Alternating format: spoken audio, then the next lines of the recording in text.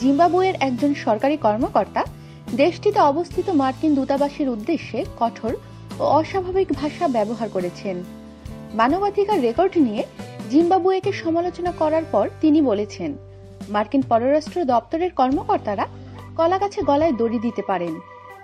জিম্বাবুয়ের প্রেসিডেন্টের মুখপাত্র জর্জ চারাম্বা গত মঙ্গলবার এসব অস্বাভাবিক কথাবার্তা বলেন।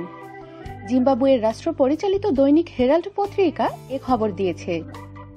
জিম্বাবুয়েতে নিযুক্ত মার্কিন রাষ্ট্রদূত হ্যারিকে থমাস জুনিয়রকে উদ্দেশ্য করে চারাম্বা আরও বলেছেন।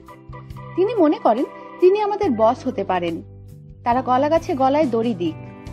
চারাম্বা মার্কিন রাষ্ট্রদূতকে ভয়ঙ্কর আমলের উচ্ছিষ্ট খাবার বলে আখ্যা দেন।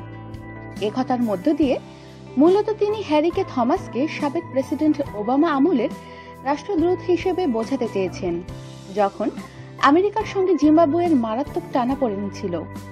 থমাস রাষ্ট্রদূত হিসেবে দায়িত্ব নেওয়ার পর থেকেই অব্যাহতভাবে জিম্বাবুয়ের নেতা রবার্ট মুগামের বিরুদ্ধে মানবাধিকার লঙ্ঘনের অভিযোগ করে আসছেন। সোমবার এক বিবৃতিতে মার্কিন দূতাবাস বলেছে, জিম্বাবুয়ের সরকারের হাতে মানবাধিকার লঙ্ঘনের ঘটনায় আমরা চরমভাবে উদ্বিগ্ন। আমাদের সাথেই থাকুন আর সাবস্ক্রাইব করুন।